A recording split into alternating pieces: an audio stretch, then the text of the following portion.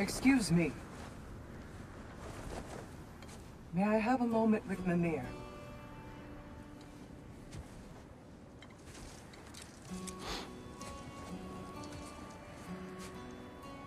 I don't know what tomorrow brings, but if tonight is our last night, I'd like to spend it feeling something besides hate. Will you tell me one last silly story? There's nothing I'd like more. Except perhaps a dance. Though I may have lost a step. Hmm.